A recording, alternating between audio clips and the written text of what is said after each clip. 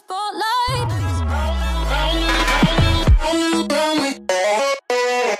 What's up guys, the Hackspot here, and today Apple released iOS 13 Beta 6. So today, I've got an all-inclusive video on what's new. 17 big new features. If that sounds interesting, let's jump right in. And alright guys, now before I start, if you want to install iOS 13 Beta 6, click this video right here. It will also be down below in the description, but in the beginning of it, I show how to install iOS 13 Beta, the latest one, so it's the same steps. Go ahead and follow that video. Number one. All right, so here's iOS 13 developer beta 6. Yeah, I can see it's 505 megabytes. And before I updated, I had 27.19 gigabytes of storage. But after updating, I had 28.58 gigabytes available. So I got about 400 megabytes in space freed up just by updating, so that is awesome. Number two, automatically detected links such as flight numbers now actually open when tapped. Number three, audio sharing is now compatible with AirPods first gen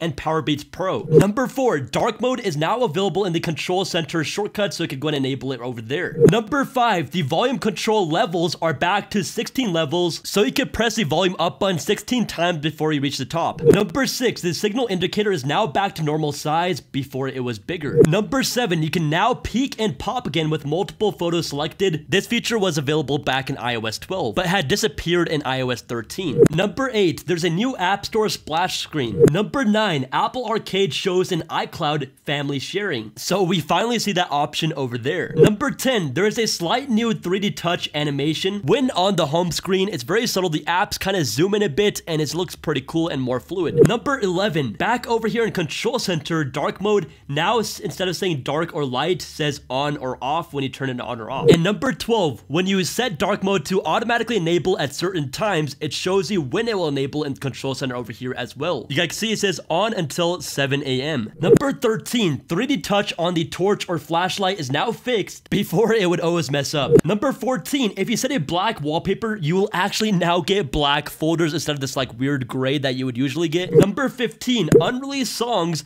are now added to your queue and you can see them kind of faded out in Apple Music. Number 16, the dynamic wallpapers thumbnails are broken, so they all look blank. Apple, please fix this. Number 17, this was a big one for me. The animations seem faster on iOS 13 Beta 6. Number 18, the 3D touch sound is now louder in Safari when, for say, saving a picture. It sounds really cool and also gives you haptic feedback. And alright guys, so I lied. That was not 17 features, that was 18 features. But anyways, they did fix a butt ton of bugs and it just feels a lot more fast, fluid, and I could finally notice better performance. Hope you guys enjoyed this video. This is the Hack Spot. Peace.